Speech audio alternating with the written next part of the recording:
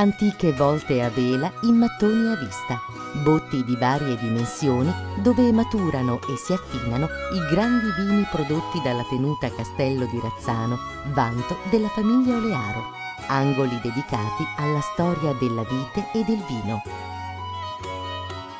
Sarà Augusto, enologo e grande appassionato del suo lavoro di esperto vignaiolo, ad accompagnarvi in visita a questo ambiente di grande e coreografica suggestione, dove la temperatura è costante tutto l'anno, perfetta per l'evoluzione dei vini sia in botte che in bottiglia.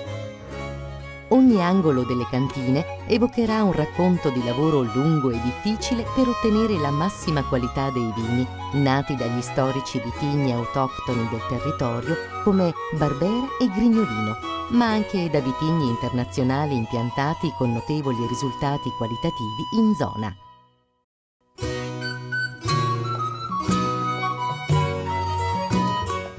Nella cantina non manca un bellissimo inferno,